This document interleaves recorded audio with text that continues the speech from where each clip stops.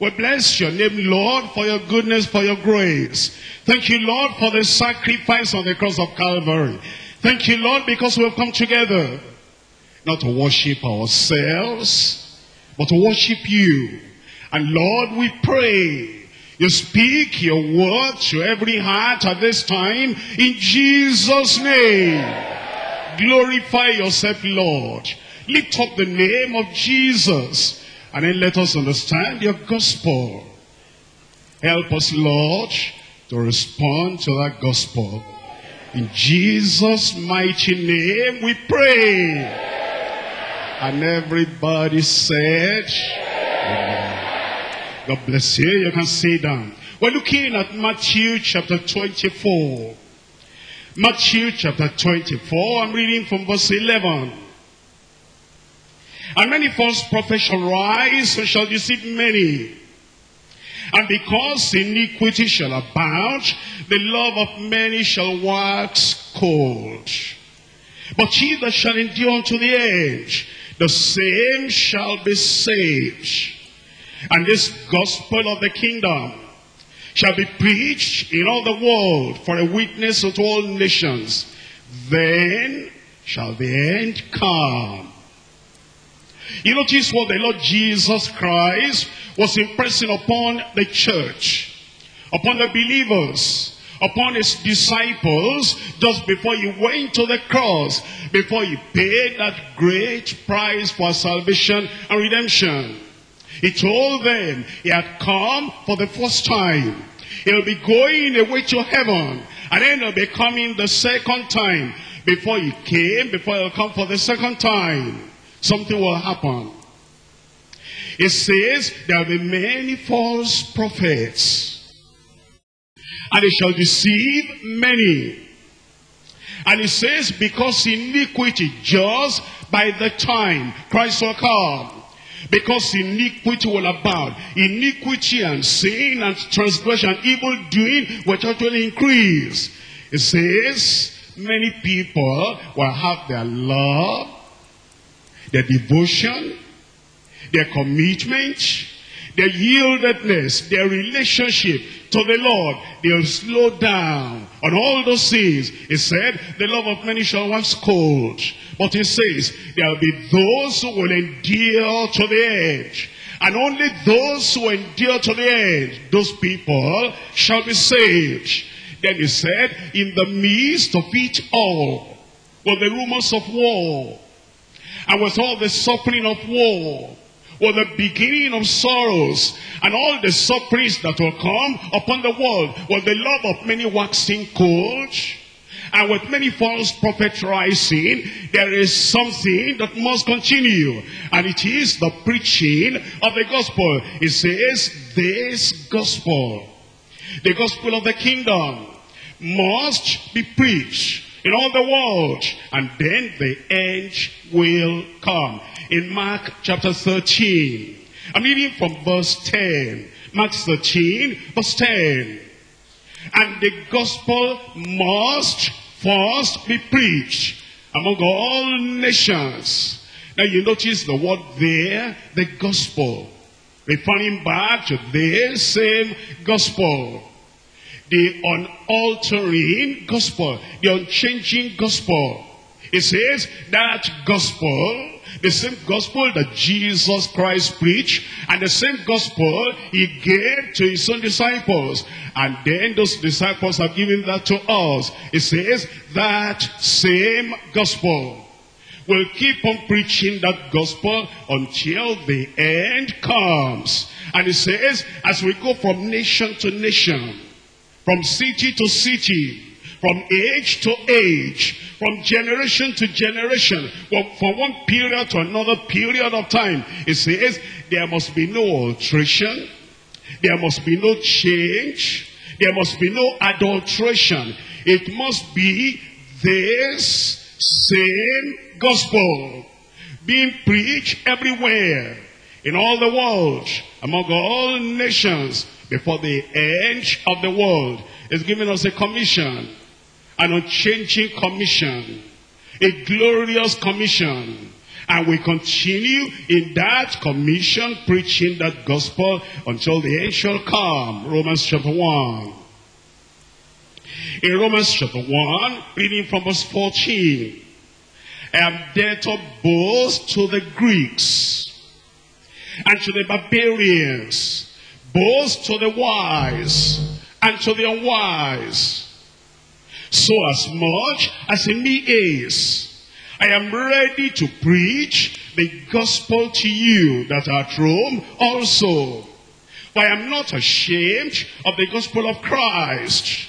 For it is the power of God unto salvation to everyone that believeth. And to the Jew first, and also to the Greek. Here Paul the apostle was come to know the Lord. After Jesus went up unto heaven. And the Lord gave him that same commission. And the same commission is given to you and given to me. And here Paul, the apostle, says, because of that commission, I'm a debtor to the Greeks, those who are wise, those who are educated, those who are the Elites, those on top in society, and then to the barbarians, to the illiterates, to the people that are low. What debt do you owe Paul? And what debt do we owe? We are Christians today. What debts do we owe our people? That's the debt of preaching the gospel. Making them to know the way. The way of life. The way of salvation. The way to life eternal. And so it says, I'll pay my debt. In verse 15. As much as in me is. As long as God gives me the strength. As long as God gives me this life. As long as I breathe this free air and I receive this free grace from the Lord, as much as in me is. It says in that verse 15, I'm ready, I'm willing, whatever it will take. I'm willing to do whatever I need to do. And I'm ready to go wherever I need to go.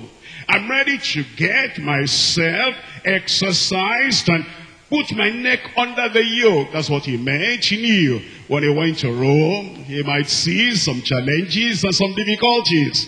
He might even go through some persecution as he did in Iconium, in Antioch, in Athens, in all those places. He said, whatever be the case, as long as God gives me the grace and the life, I'm ready to preach the gospel to you that at Rome also. Then he says, for I'm not ashamed of the gospel of Christ. For it is the power of God unto salvation to everyone that believeth, to the Jew first, and then also to the Greeks. That's the challenge you are talking about today. Commitment to preaching Christ's unchanging gospel commitment to preaching Christ's unchanging gospel. It's a gospel. It's a good news. It's a glad tidings. But that gospel, as it has good news for us, and it has some benefits that we're going to receive, it has some conditions. And those conditions are unchanging. As the benefits of the gospel are unchanging, so also the condition of entering into that benefit of the gospel, the conditions are unchanging. And then he's giving us the commission. And our life, every day, every moment, is to be so committed to the preaching of that unchanging gospel. Commitment to preaching Christ's unchanging gospel. Three points we're going to consider. Number one, our commission. Number one, our commission. Number two, his commandment. His commandment.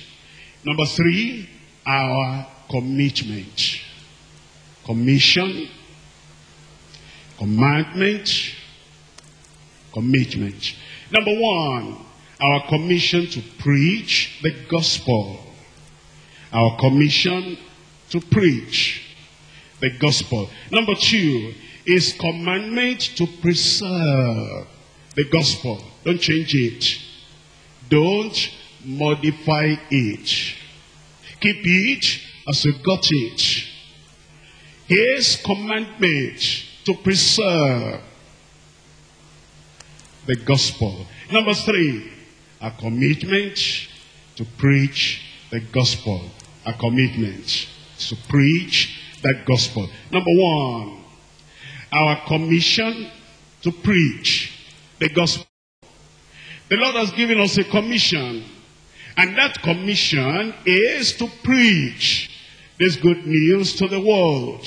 This glad tidings to reveal the way of salvation to the people who are not saved. In Mark chapter 16, I'm reading from verse 15. And he said unto them, Go ye into all the world and preach the gospel to every creature.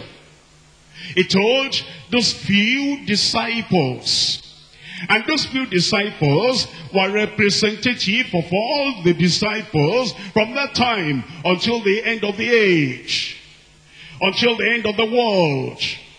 And he told them, go into all the world and preach the gospel to every creature. He told them, number one, the first verb there, go. And verb, that gives you a commission. That, that gives you an assignment. That gives you a responsibility, a duty, something to do. And he says, go. If you are staying, you're disobedient. If you're sitting, you're disobedient. If you're idle, you're disobedient. If you're doing nothing, you're disobedient. He said, go. And then when you go, he tells you where to go. All the world. From this place to that place.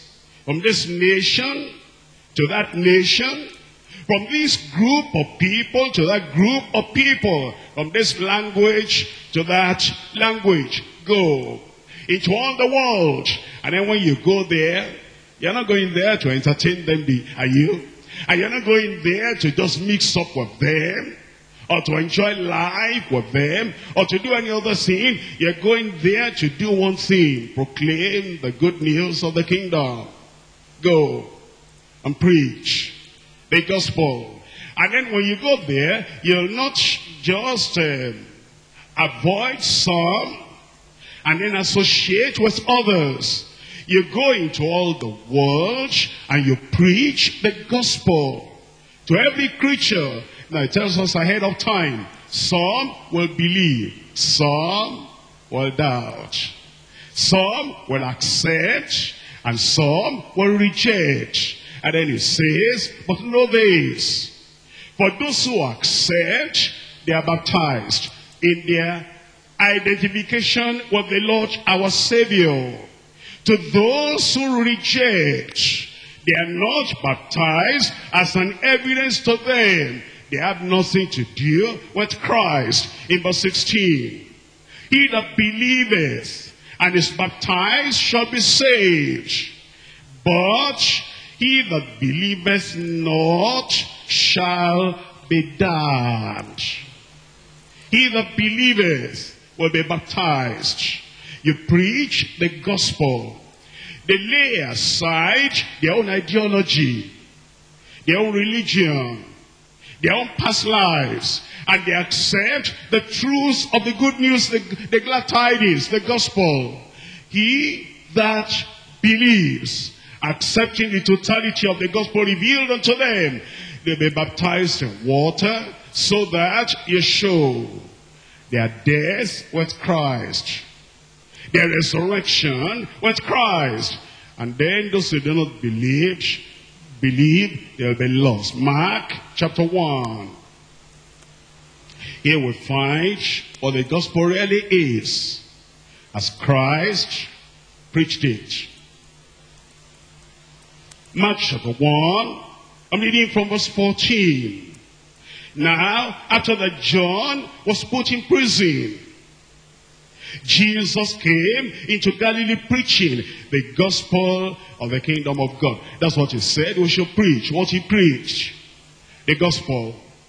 And this gospel of the kingdom shall be preached in all the world until the end shall come. He preached that gospel. What are the elements of that gospel? Look at verse 15.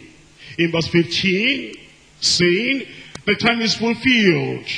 The kingdom of God is at hand. Here are the elements of the gospel. Repent ye and believe the gospel. Repent ye and believe the gospel. One aspect is that the sinner looks at his life and he sees that his sins are odious to the Lord. His sin makes him ugly in the sight of the Lord. His sin makes him unacceptable in the sight of the Lord. Therefore he turns away from sin. He repents of sin. He gets rid of sin. He quits his sin. And then he turns to the Lord and he believes the gospel. That's, that's what we're to preach. You go into all the world, where you find yourself, you preach that gospel. In Luke chapter 24, I'm reading from verse 44. And he said unto them, These are the words which I spake unto you while I was yet with you, that all things must be fulfilled, that were written in the law of Moses, and in the prophets, and in the Psalms concerning me. Then opened he their understanding, that they might understand the scriptures. And then it were told and said unto them, Thus it is written, and thus it behooved Christ to suffer and to rise from the dead the third day. Was not telling them the necessary death of Christ and the following resurrection of Christ. That now, as you go to preach the gospel, you add the death, the suffering, the agony, the substitution. Because he became our substitute, he carried the load of our sin. The condemnation for our sin. That's what he carried. And you must tell them. But tell them that Satan will not have the victory. And tell them that Christ rose from the dead.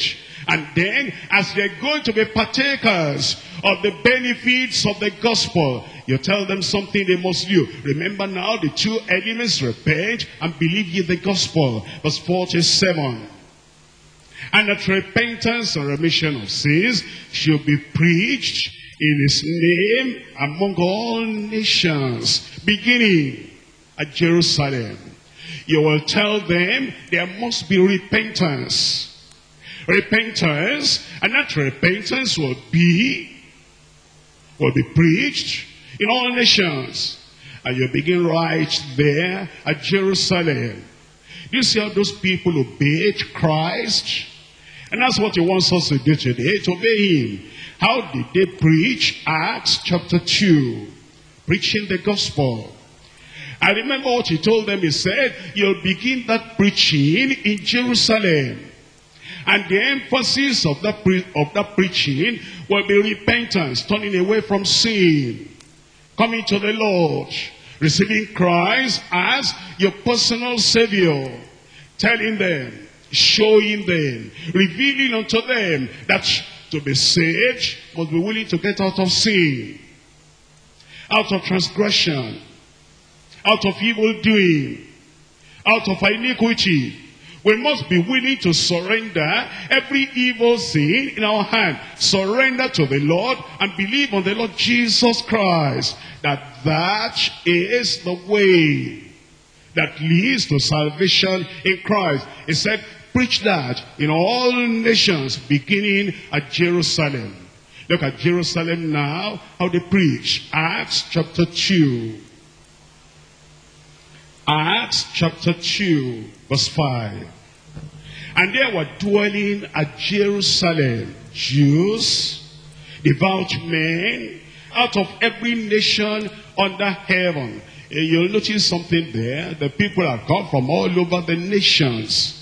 And Jesus said, preach the same gospel in all the nations of the world.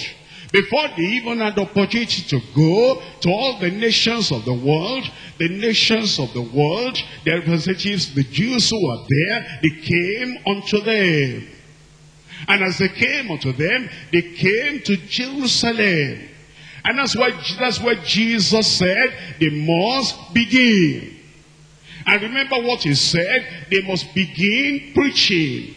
They must begin preaching repentance. Turning away from sin. Turning away from that sin that made Jesus to go to the cross to die. And then we're told they were in Jerusalem. Look at the conclusion of the preaching. Now verse 37. Now, when they had heard this, they were preached in their hearts and said unto Peter and to the rest of the apostles, Men and brethren, what shall we do? They wanted to know. We feel guilty. We crucified Christ. We feel guilty that we supported our leaders in nailing Christ to the cross were definitely guilty of the blood of Christ. Now, is there any remedy? Is there any solution? What shall we do? Verse 38. Then Peter said unto them, Repent. Do you see that? Are those apostles and disciples, how they obeyed the Lord Jesus Christ as he told them, Preach repentance everywhere you go. Now I'm going to remind you again, this takes the power of the Holy Ghost. Because you know, these apostles and uh, these believers, when Christ was crucified, they were hiding. They were fearful. They were timid. And they were hiding behind closed doors. They caught our master. I don't want them to catch me.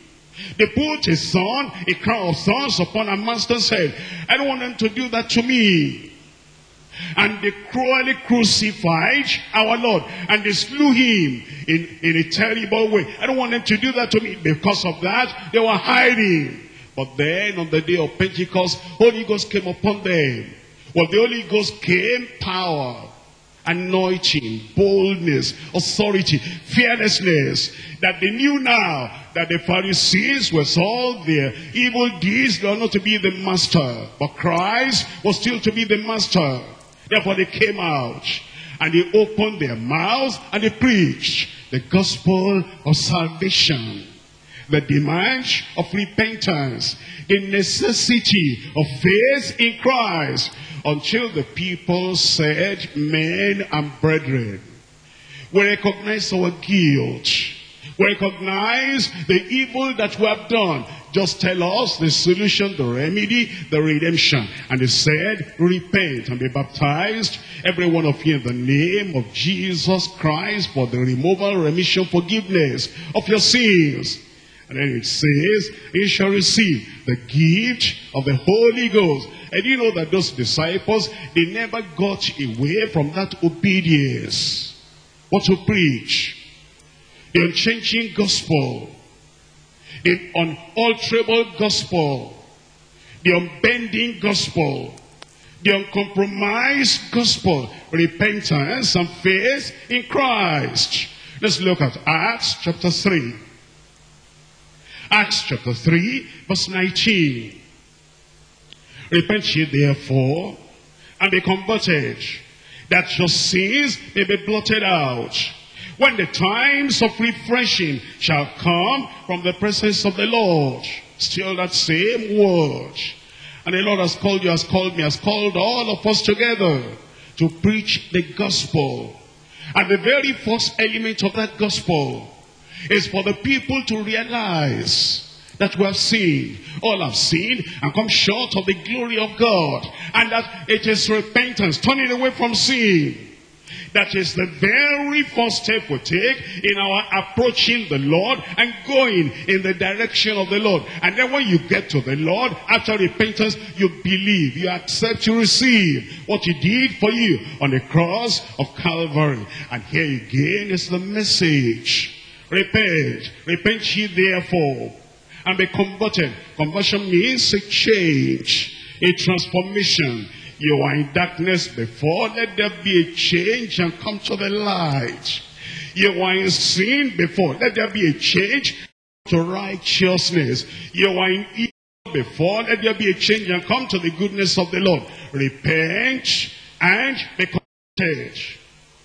That your sins may be blotted out. Repent, turn, so that your sins will be blotted out. What does that mean?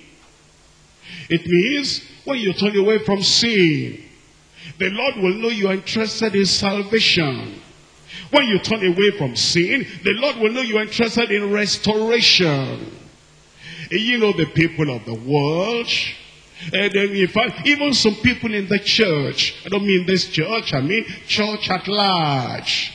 They say grace covers it all. And you give the impression to the sinners, the greater your sins, the greater the grace. That when you sin and sin and sin, then God will manifest grace plus grace plus grace. They even now teach those who are believers, those who say they are believers, they teach them that. They don't teach the believers to run away from sin, to keep away from sin. They say you are saved forever saved. And the grace of God is always there. They say the more you sin, the more the love of God will be manifested. And encourage believers to continue in their sin. But the question is, shall we continue in sin that grace may abound? What's the answer in the Bible?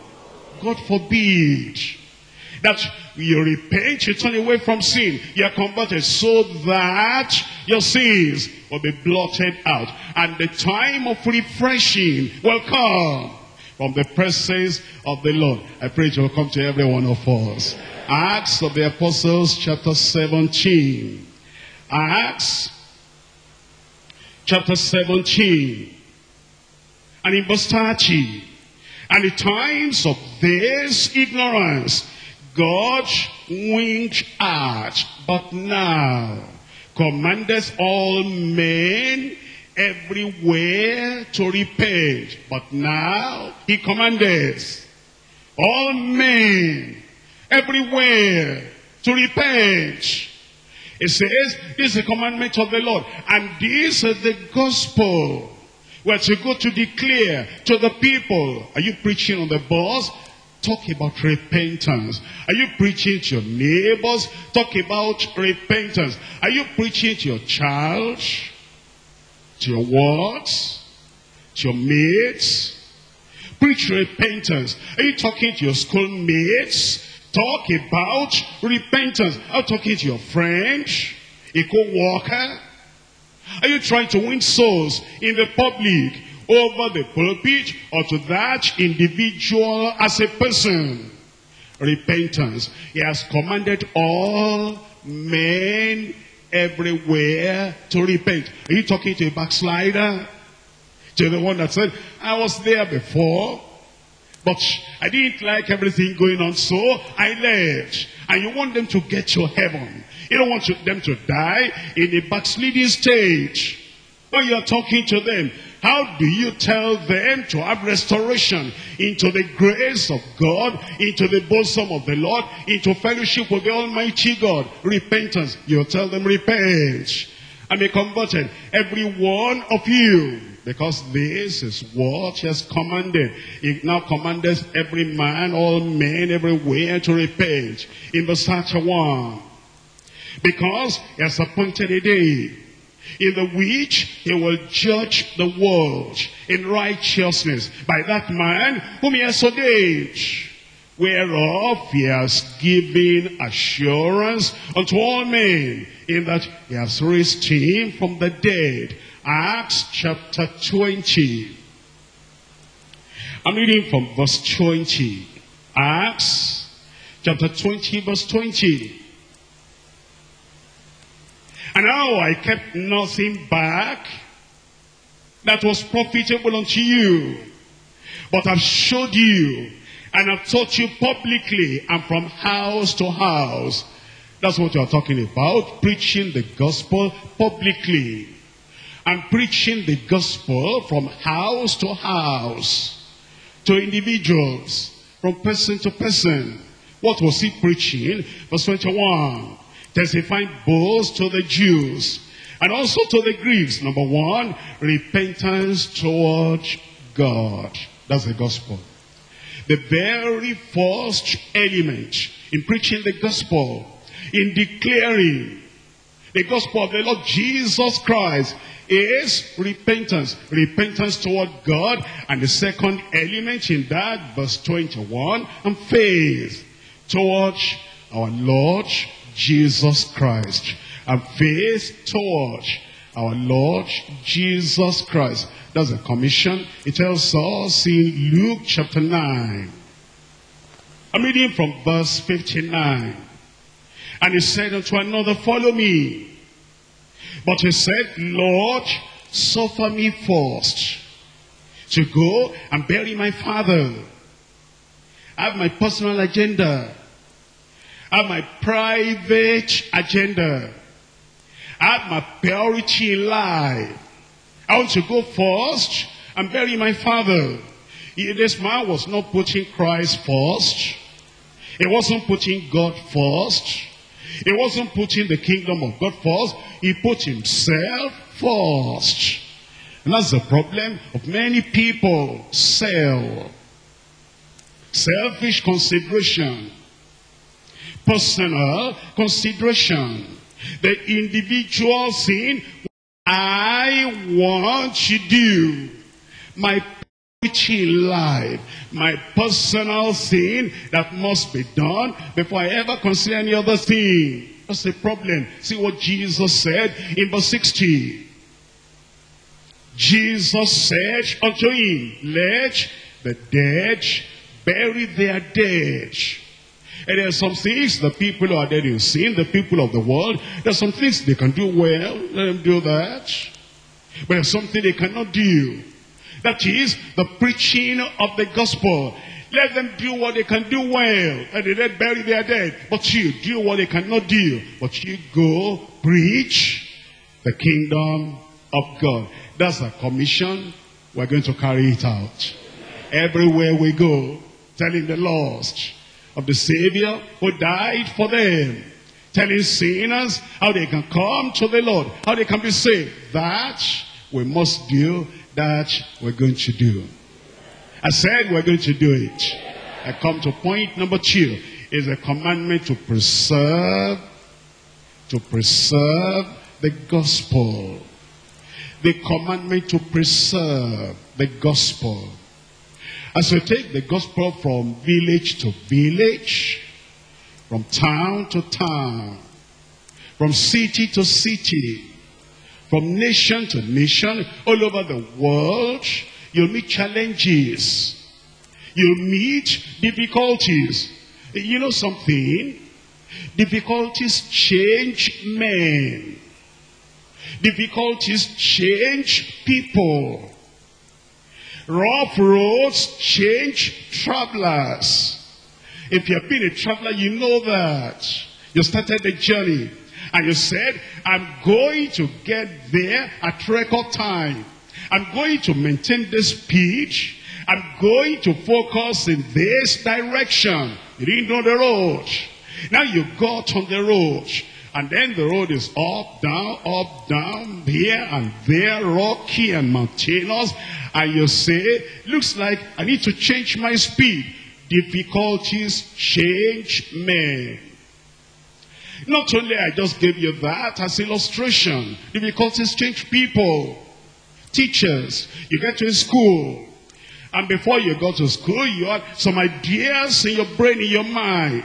I'm going to get those students to work. They will do assignment. They will do this. They will do that. I'm going to teach in this way. My friend, difficulties change men. And then you get to class and the children, they say, ah, are you going to teach encyclopedia in one month? This is too much. Slow down. And then you refuse to slow down. And then they refuse to do assignment. And no matter what you do, they just do whatever. And that teacher will change. I'm telling you, difficulties change men. Here comes a politician. And the politician says, we're going to right every wrong. And we're going to erase every corruption in this our country by the time I finish my term. There'll be no corruption left. And then you raise up this and raise up this and raise up this. And then you come against roadblocks and difficulties, indescribable challenges. And before his term runs over, he says, this uh, corruption has a kind of demon ahead. It is a dragon. And then I want to save my life. I leave all that.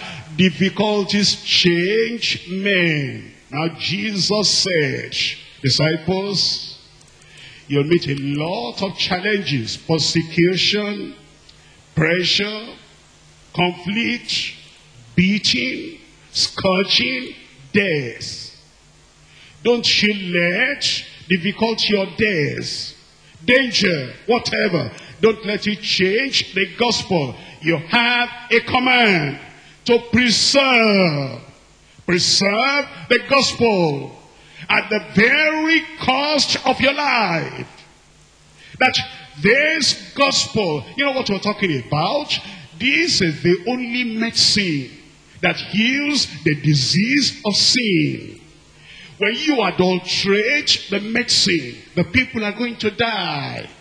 And so, if doctors love the people they're ministering all that medication to, whatever the cost, whatever the challenge, they must maintain the purity of the content of the medicine they give out. If they are interested in the people getting healed, if we are interested in people getting saved, in people getting to heaven, in people reconciling with Christ, in people reconciling with the Lord, in people making right their ways. There's no other gospel. Don't allow difficulties or dangers or even death to change you and change the gospel. Our commandment to preserve the gospel. Look at Matthew chapter 24 again. Matthew chapter 24 I'm reading from verse 14. And this gospel of the kingdom, not another gospel, this gospel, this gospel of repentance and faith in Christ, this gospel of the kingdom shall be preached in all the world for a witness unto all nations, and then shall the end come until the very time of the end. Keep on preaching this same gospel. Mark chapter 13 verse 10. Mark chapter 13 verse 10. Before I read verse 10, look at verse 9. And take heed yourselves, for they shall deliver you up to the councils and in the synagogues. Ye shall be beaten and ye shall be brought before the rulers and the kings for my sake, for a testimony against them. Before you go on, why don't you look up here for a moment? Thank you. Uh, you, you know, if you're doing something, let's say, for example, a market women, you go to the market. When you get to the market, you say, I'm going to be the best trader and the richest seller in this community. And then the union people, the you know association of whatever, market women, contributing to worship idol or whatever, they come and they gather all your things. You are not joining us, they gather your things, and then they take it away. Then you remember your goal, your decision. I'll be the best seller and the best trader in this community. You go to pack other things, you come there, they pack everything again, and they go. After they've done that for two, three weeks, you begin to change your goal, your plan, your project, your purpose. You begin to change your dream. I thought I'll be the best seller, the best trader in this community. But see what they have done. The first week, they said, because I will not join association, they carried all my things. And the second week, they came again. And the third week, they came again. And now they're not just carrying my sins, they're becoming violent. They're even trying to assault me.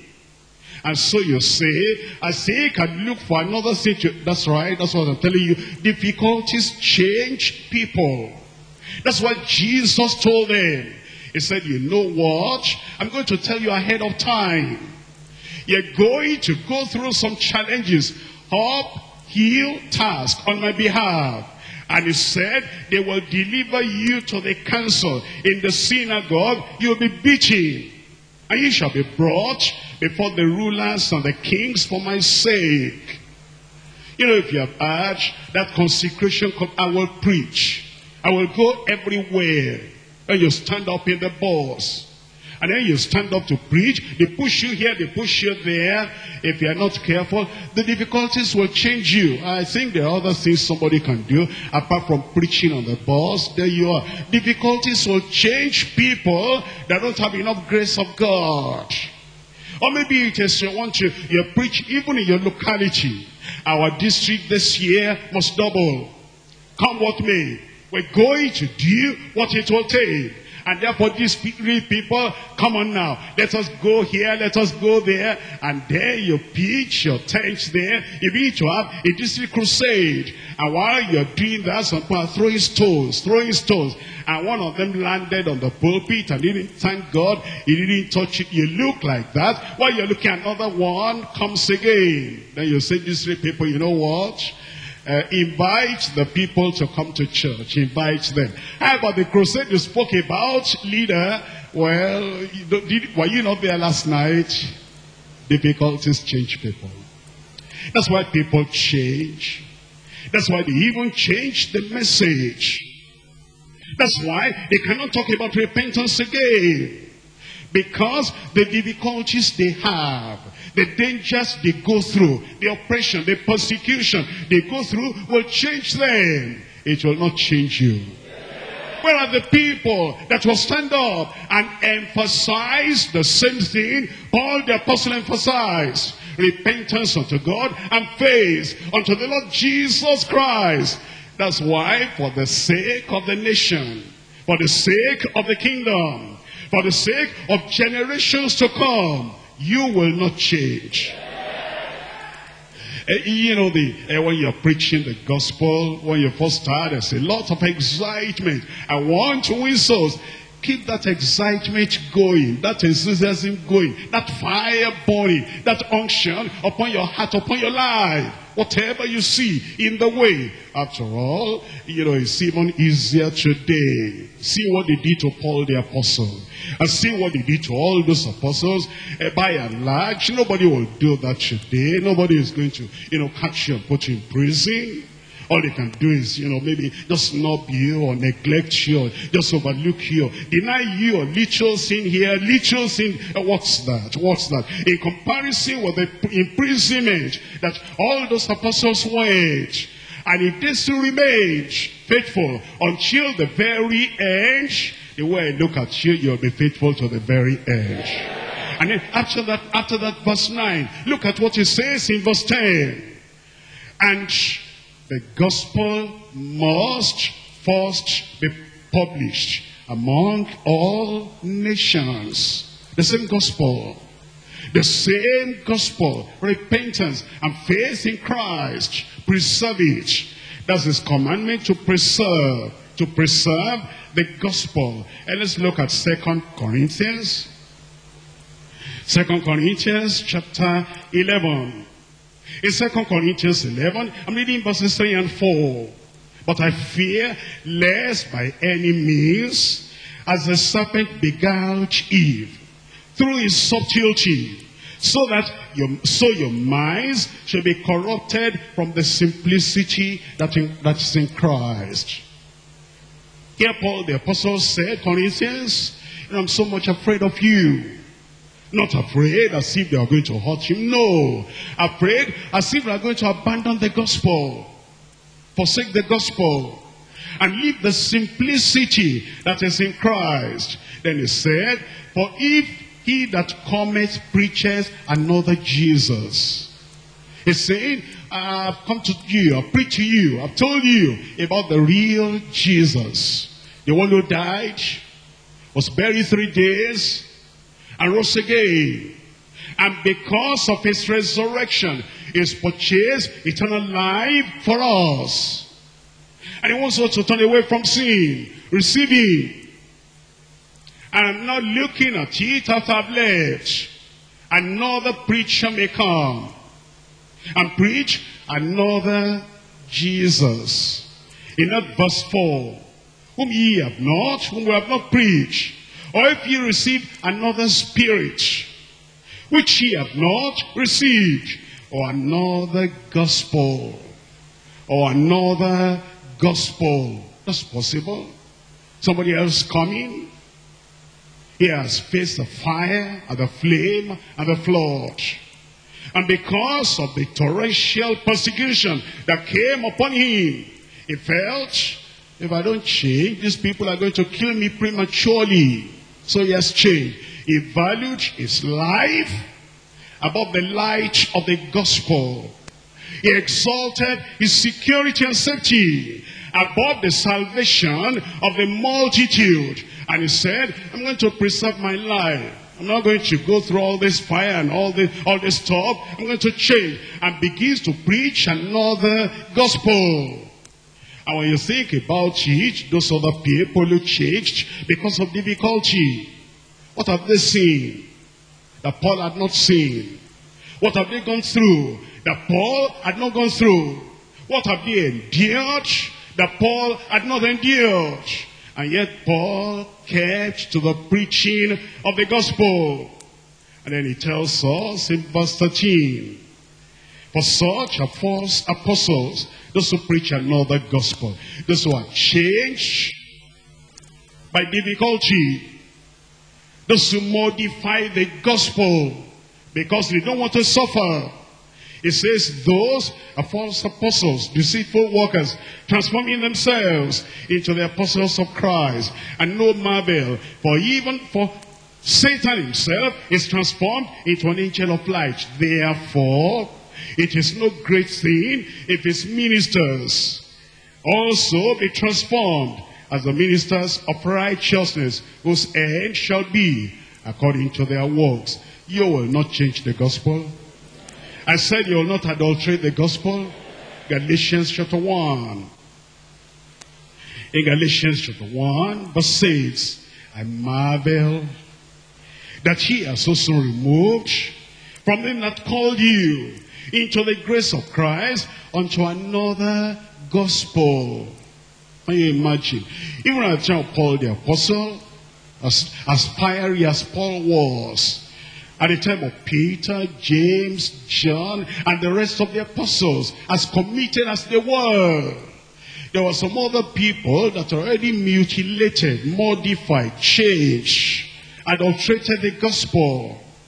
I marvel that he has also removed from him that called you into the grace of Christ unto another gospel, which is not another, because there's no alternative. But there be some that trouble you and would pervert the gospel of Christ. Say perversion of the gospel. Now, look up, brothers and sisters. You know what our country has done? Our country has raised up a monitoring ministry. Monitoring the drugs, the medicine, the food, everything that comes to this country. And before, before anything will pass through the wall that we're going to put in our mouth because of our health, because of our security, because of our life, it must go through that monitoring ministry. And then they say, no, that one is not acceptable. That one is not acceptable. And if anything comes to the, to the smallest biscuit, to the smallest metoliter, and to the, to the smallest sin that you put in your mouth, that they say that sin has expired. And the sin has cost that individual billions of naira to bring everything in. And they say it's expired. Or they say it is fake. That this kind of drug should not be in our country. There is, you know, somebody there at the top. Yes, you know, the danger is there.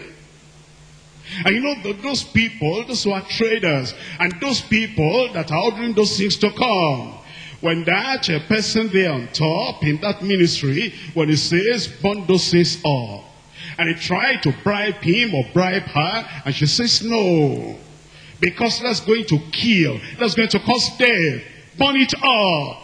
And they burn it up. Now those people are not going to be happy. They've lost 90 million naira in importing nothing. Burn it up. They've spent 200 million naira in importing nothing. Burn it up. They're going to like her.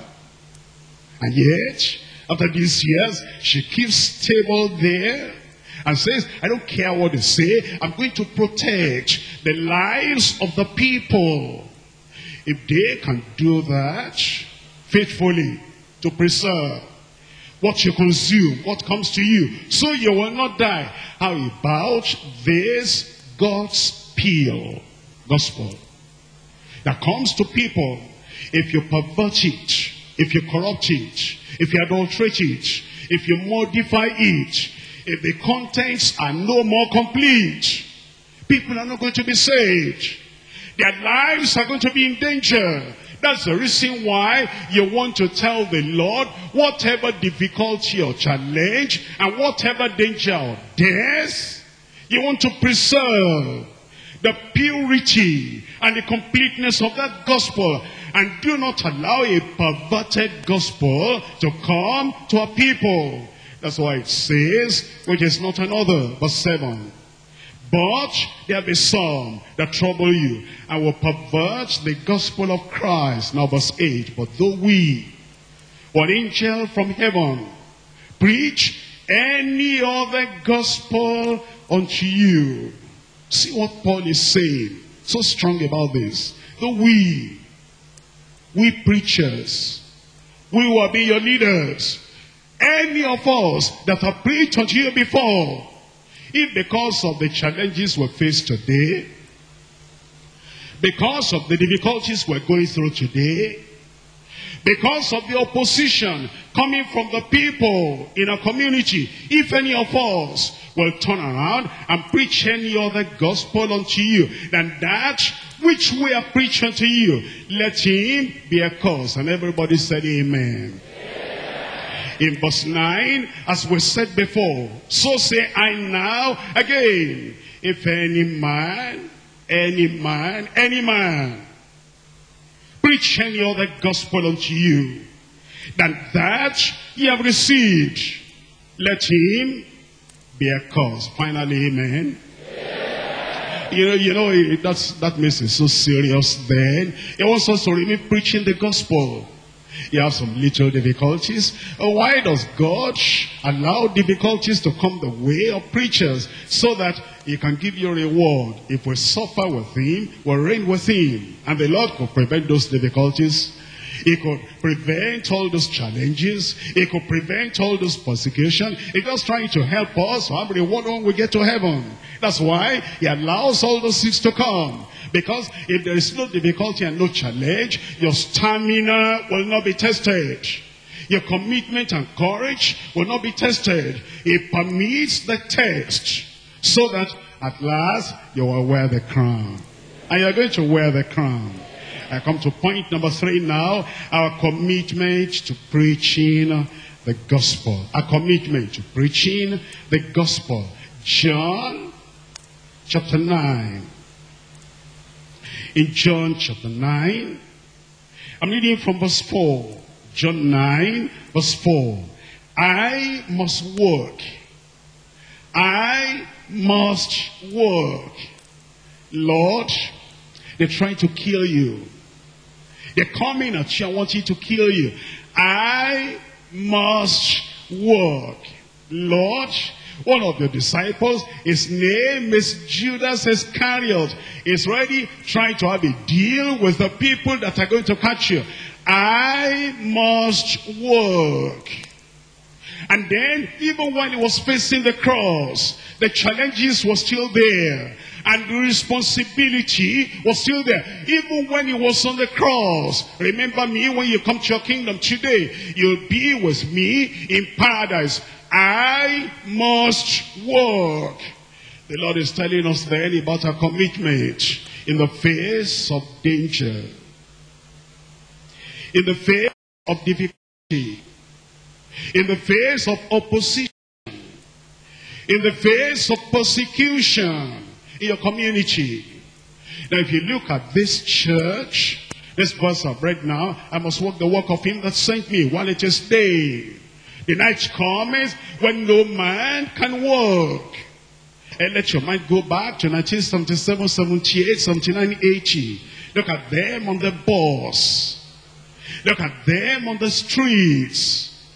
Look at them everywhere, preaching, preaching, announcing the good news that gets people into the kingdom.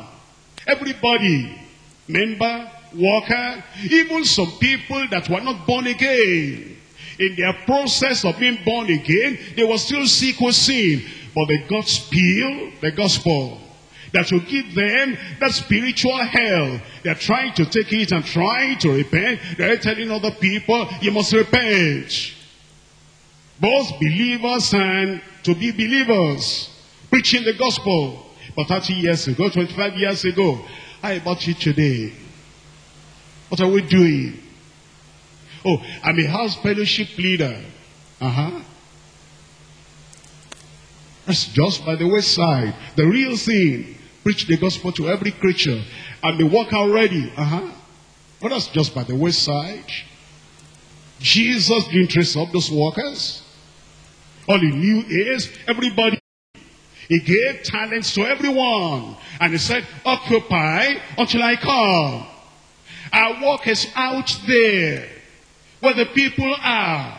Reaching out to them. Touching their lives. What you do inside here. Five minutes, ten minutes, you're through. What you do inside here. What you do inside here, 30 minutes, teaching the scripture, and you're through. The real work the real assignment, the real duty outside there. You know there are people that will defend what you're doing inside here. And when you think about it, what you do inside here is limited. Of a lot of dynamic preachers and dynamic coordinators, and only one coordinator can teach inside the scripture one Sunday. About hundreds of the rest, no, they have to wait for another time. In fact, there's some coordinators and this is it's not their fault and it's not my fault. Because we have, how many combined services do you have? In one year, it's less than 12. And when you think about our coordinators, we have more than almost, you know, in your group alone of services. How many do we have? Almost getting to 100. And how can we make use of 100 coordinators to teach the scripture on one on all the Sundays of the year? There's some coordinators for three years, it will not come to their turn. Is that any punishment? No, the real work is out there. Here we come to celebrate. Here we come to exalt Christ. Here we come to say, what have we done during the week? Here, this is not for work. This is not for responsibility. There, outside there, is the work that we do. And the same thing with the, the same thing with the choir. Ten minutes and we're through. There's not much here. The real work is outside there. The same with the usher, security, everybody. The real work is outside there. And, and you know, sometimes with so much kind of diverted, divided, distracted, that on the 10 minutes thing here, On the little thing here, we fight about that. And we're so unhappy about that, that the 10 minutes we have not given. Because of that, all the hours of ministry outside were kind of not faithful to the Lord, unfaithful to the Great Commission. Things will change. And it will change for the better in Jesus' name. That's why it says, I must work. The works of him that sent me, while it is day, the night cometh when no man can work. You will work. And what the Lord did is passing across to you and to me. John chapter 17. In John chapter 17, I'm reading from verse 14. I've given them thy word, and the world has hated them. Because they are not of the world, even as I'm not of the world. Get ready for that. As we go to preach the gospel, the world will hate you. When somebody hates you, does he smile? What do they do?